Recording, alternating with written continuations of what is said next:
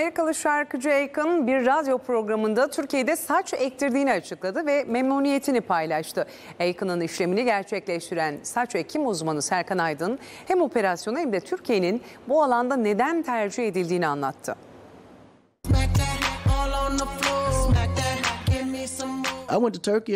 Türkiye saç ekimi ve diş tedavisinde gerçekten çok iyi.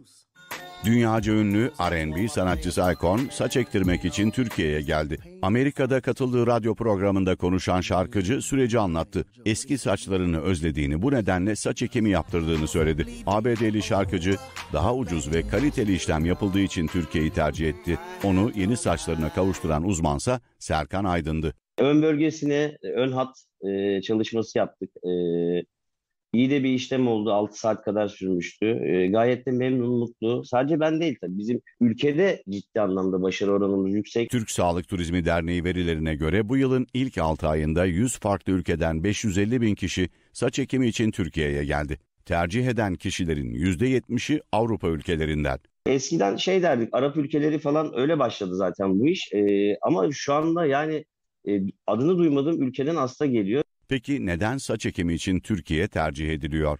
Son 15, 16, 17 yıldır e, ülkemiz bu anlamda her geçen gün e, yol alıyor. Yani iş kalitesi, e, sonuçlar ve fiyat açıkçası. Ama tabii Avrupa'da veya dünyanın hiçbir tarafında bizim kadar yoğun e, bu işi yapan e, ülke yok. Tabii yavaş yavaş eğitimlere e, doktorlarını göndermeye başladılar e, ülkemize de. E, neden tercih ediliyor? Yüksek sayılar ekiyoruz. Ben kendi adıma konuşuyorum. Sık oluyor. Doğallık tabii tercih sebebi oluyor. Türkiye'de saç ektirmenin popüler hale gelmesi İspanya'da filme de konu olmuştu. Por los pelos yani saçım yüzünden filmi saç ektirmek için Türkiye'ye gelen bir grup arkadaşın macerasını anlatıyordu.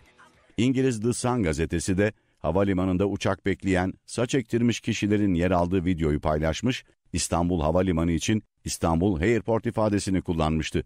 Videoda çok sayıda saç ektirmiş insanın olduğu görülüyor.